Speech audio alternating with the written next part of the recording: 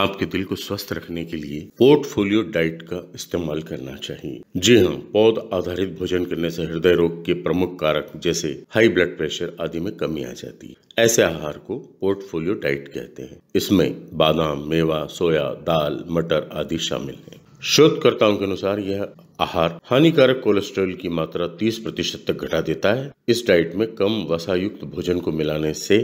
यह हृदय रोग के अन्य प्रमुख कारणों को भी तेरह प्रतिशत घटा दिया अपनी बात की पुष्टि के लिए वैज्ञानिकों ने 400 मरीजों पर शोध किया और पोर्टफोलियो डाइट के कारण इनका ब्लड प्रेशर दो प्रतिशत तथा किसी संक्रमण से बचाव के दौरान होने वाली सूजन में बत्तीस प्रतिशत की कमी आ गई subscribe our channel and press the bell icon for more updates